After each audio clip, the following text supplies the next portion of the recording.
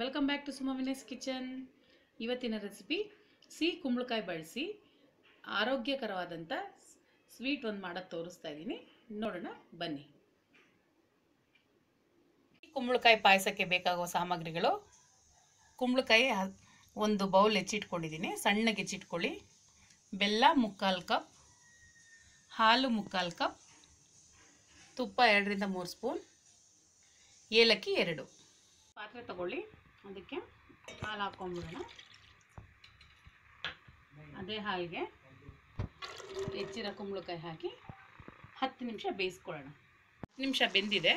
So ಇವಾಗ ಹಾಲಲ್ಲೇ ಬೆಂದಿರೋದ್ರಿಂದ ನಿಮ್ಗೆ ಅದು ಕ್ರೀಮಿ ಕ್ರೀಮಿ ಫಿನಿಶಿಂಗ್ ಬರ್ತಾ ಇದೆ. ಸೊ ಇವಾಗ ಬೆಲ್ಲ ಆ್ಯಡ್ ಮಾಡ್ತಾ ಇದ್ದೀನಿ.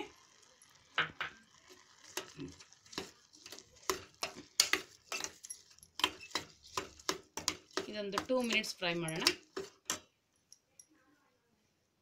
ಮಿನಿಟ್ಸ್ ಕೂತಿದೆ ಇವಾಗ.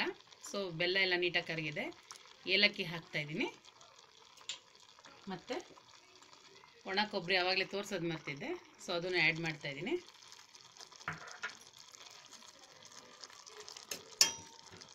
ಇನ್ನು ಎರಡು ನಿಮಿಷ ಇದನ್ನು ಫ್ರೈ ಮಾಡೋಣಂತೆ. ಫ್ರೈ ಆದಮೇಲೆ ಫೈನಲಿ ತುಪ್ಪ ಆ್ಯಡ್ ಮಾಡ್ತಾ